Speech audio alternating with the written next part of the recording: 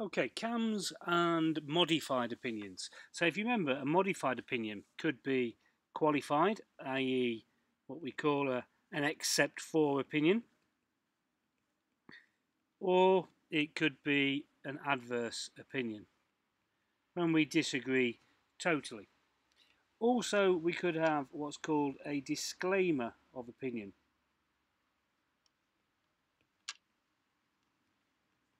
When we're not sure whether the accounts show a true and fair view. So let's see how you deal with KAMs there. So obviously, uh, you're going to have a, a, basis for the opinion, but um, you would also have here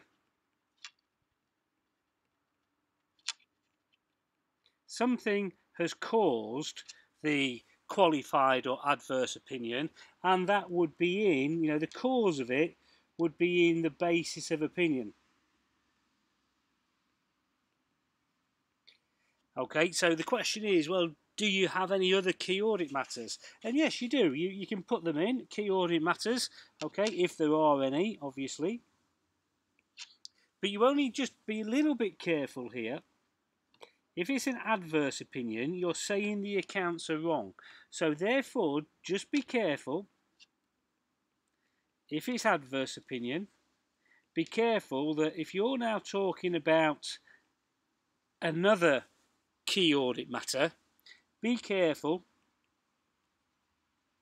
that it doesn't make the accounts more credible.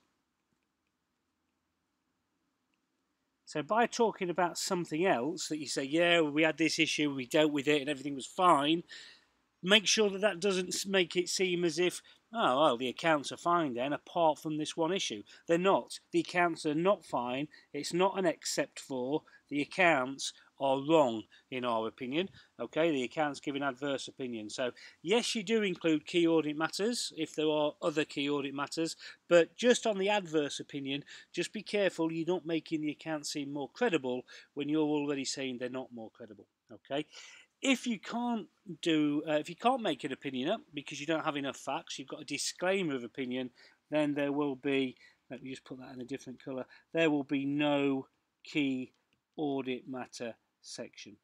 Okay, so modified opinions can either be qualified or adverse. If they're qualified, you can put a KAM in if there are other KAMs. If it's adverse, you can put a KAM in if there are any other KAMs. But just be careful if it's adverse, you're not making the accounts seem better than they really are. And finally, if it's a disclaimer of opinion when you don't have enough information, there will be no KAM section.